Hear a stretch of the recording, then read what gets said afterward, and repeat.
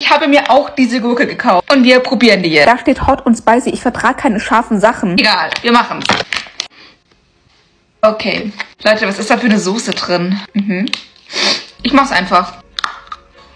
Scharf, scharf, scharf, scharf, scharf. Nee. Ah, scharf. Uh.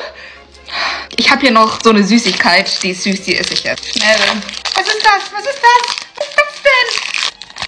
Mmm, das ist lecker. Das lieben wir, das lieben wir nicht. Boah, warum rieche ich auch noch dran?